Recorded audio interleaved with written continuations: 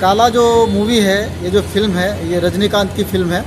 आ, ये फ़िल्म देख के मुझे बड़ा मज़ा आया। ये फ़िल्म में मनोरंजन भी है। जो जो रजनीकांत है रजनीकांत की फ़िल्म तो बड़ी अच्छी होती है। लेकिन मनोरंजन के साथ साथ इस फ़िल्म में आंदोलन भी दिखाया है। इस फ़िल्म में ज़मीन का जो हक है, घर का जो हक है, उसका आंदोलन है।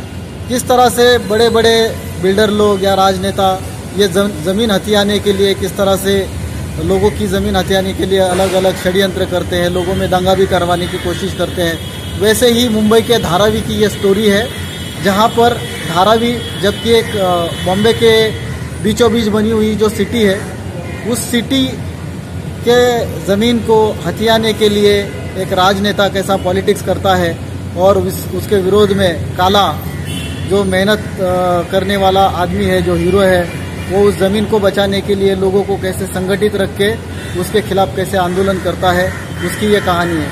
क्योंकि मैंने भी घर अधिकार के मुद्दे पे काम किया है और ज़मीन अधिकार के मुद्दे पे काम किया है और मुंबई में जो अलग अलग तरह का जो एसआरए का प्रोजेक्ट चल रहा है और उसके ज़रिए जो लोगों को फंसाने का जो कोशिश कर रहा है तो ऐसे लोगों के लिए ये एक बहुत अच्छी फिल्म है। हर किसी ने ये फिल्म देखनी चाहिए। जमिनीचा संघर्ष जो आहे हा जमिनीचा संघर्ष याच्यामध्ये दाखवलेला आहे.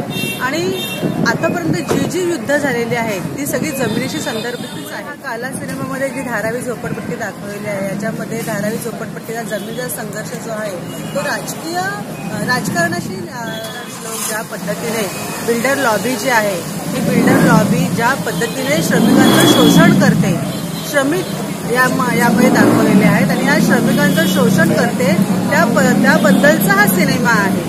आणि म्हणून हा सिनेमा नक्कीच मुंबईतल्या झोपडपट्टीशी रिलेटेड जे जे लोक आहेत श्रमिक म्हणून जे जे लोक आहेत फक्त झोपडपट्टीच नाही तर जे जे फ्लॅट्समध्ये पण राहत आहेत त्यांची जड मुळं जी आहेत ही ही इथल्या जमिनीशी जोडलेली आहे आणि त्यामुळे प्रत्येकाने ज्याच्यामध्ये एक मानवीयता आहे अशा प्रत्येकाने हा सिनेमा पाहणे खूप गरजेचं आहे आणि खूप त्याच्यामधून आपल्याला एक चांगला संदेश मिळतो आहे की सगळ्या लोकांनी एकत्र राहायला पाहिजे. कुठल्याही जाती धर्माच्या नावावर आपल्यामध्ये इथले राजकारणी इथले भांडवलदार हे आपल्यामध्ये फूट पाडतात आणि ह्या फुटीमधूनच ते स्वतःचा स्वार्थ साधत असतात.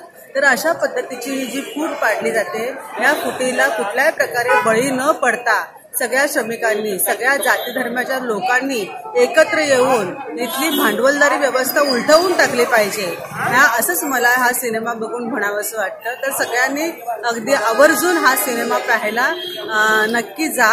आणि आपल्या इतर ज्या मित्रमैत्रिणी आपले कुटुंब किंवा आहेत जे कोणी लोक त्यांना सिनेमा पाहायला आवर्जून बोलतो भारतातल्या एकूण झोपडपट्टीतली जे सगळे शूद्रातिशूद्र आहेत त्यांची जी समस्या आहे ती नव्यानं बघण्याचा प्रयत्न या सिनेमामध्ये दिसतो.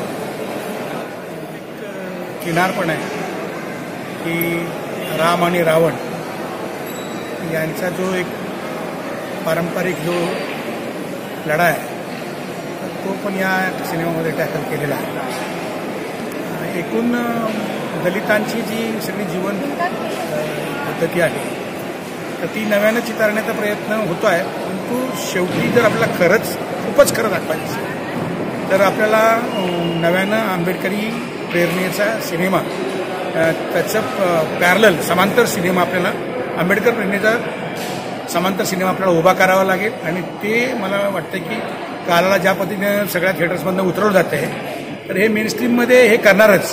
आणि म्हणून आपल्याला स्वतःची एक स्वतःची एक पॅरल इंडस्ट्री आपल्याला उभी करावी लागेल. आणि ते फार दूर नाही. कारण नव्या टेक्नॉलॉजीच्या बाबतीत आपण जवळ आलेलो आहे नव्या टेक्नॉलॉजीच्या. अधिक प्रयत्न करून आपण जर ह्याला जर जोर लावला तर त्या पाच दहा वर्षामध्ये आपण आपलं एक समांतर विश्व निर्माण करू या क्षेत्रामधलं असं मला वाटते. हे हा जो काही प्रयत्न आहे तो प्रयत्न प्रशंसनीय असला तरी जे मूलभूत जातीव्यवस्थेचा जो प्रश्न आहे आणि ज्या पद्धतीने तो चितारडायला पाहिजे आणखीनच पण जाऊन तो अजून चितारता येऊ शकतो.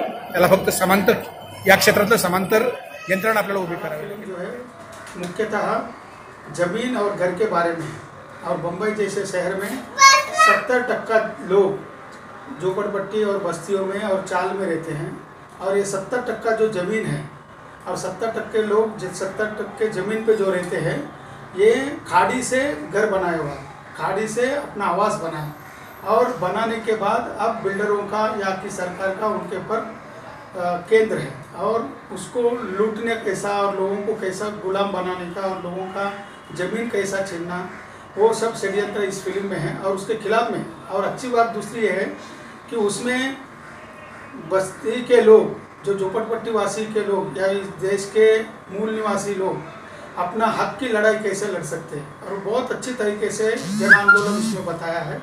और उस जन आंदोलन के माध्यम से ही हम अपना हक और ज़मीन आवाज़ उठाने वालों की लड़ाई देखते रहने के लिए सब्सक्राइब बटन दबाइए और फिर घंटी पर दबाइए।